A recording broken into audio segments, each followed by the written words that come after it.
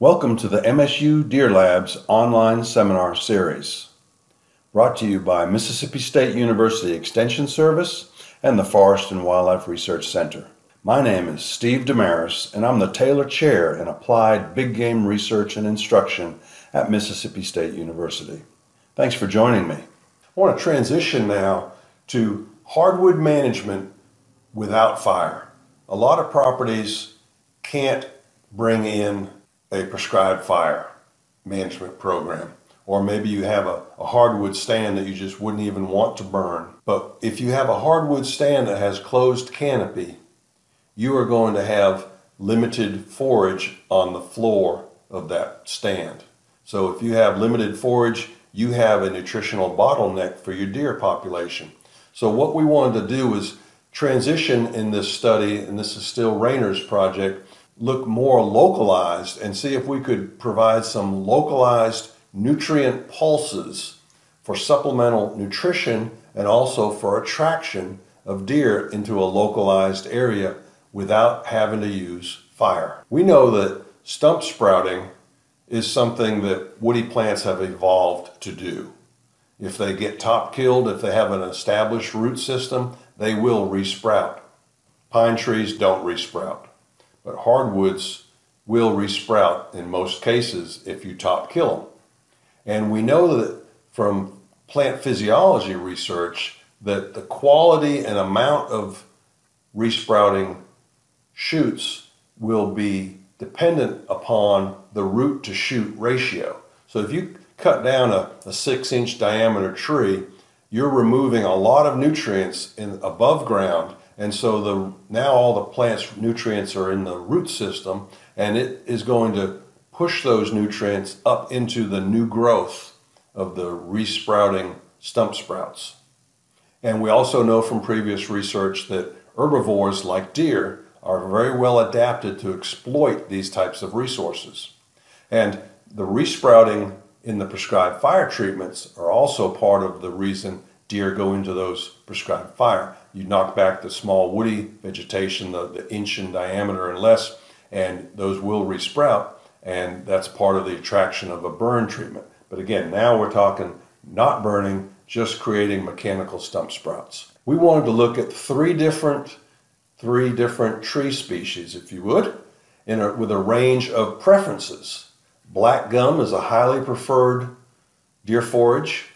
Red maple is a moderately preferred deer forage, depending upon where you are. In the lower coastal plain, a red maple is going to be highly preferred because it's some of the better quality forage.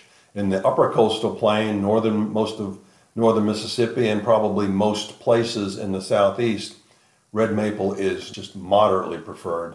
And then sweet gum is kind of the bottom of the barrel from the deer standpoint. It's a low preference species of woody plant that a deer biologist does not necessarily want to have on their property. That's why we removed the sweet gum in the earlier mid-rotation management scheme where we treated it with the imazapyr.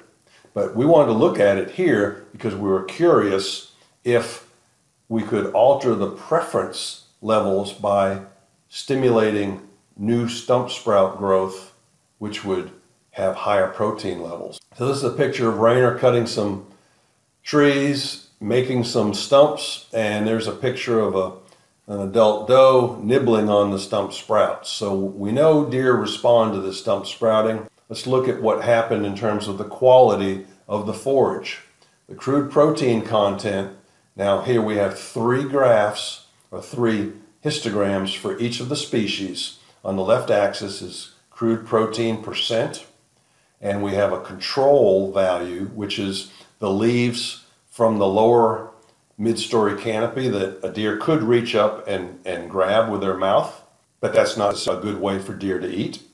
But Year one is the year, the growing season following mechanical stump sprouting, which was done during the month of June.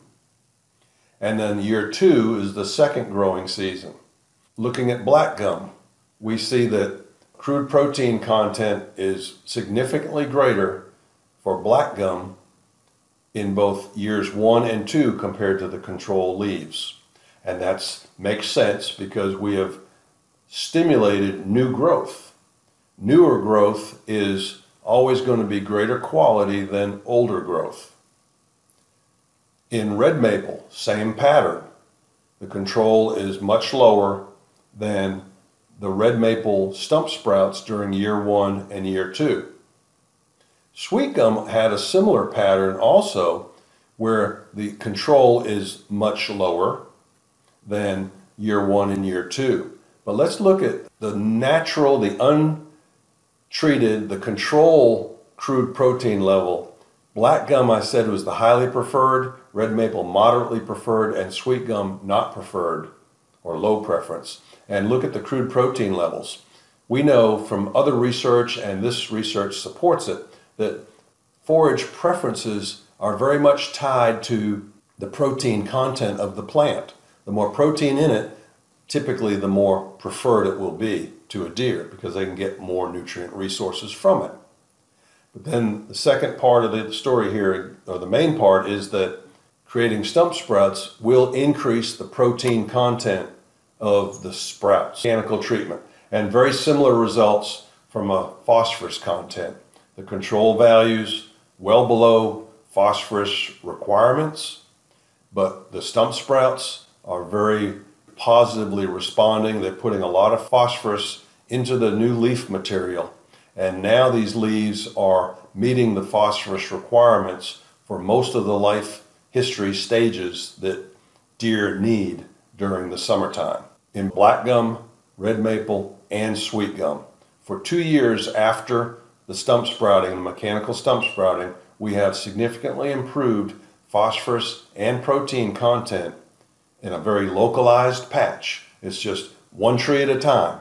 Each tree will generally resprout the following couple of years, and so you can create these localized nutrient patches. I love looking at deer foraging, and this is some of the results of Rayner's work where he, he set up a trail camera on video format, and it shows deer, in this case uh, adult bucks, foraging on black gum and red maple, and now here's a, a yearling buck foraging on sweet gum.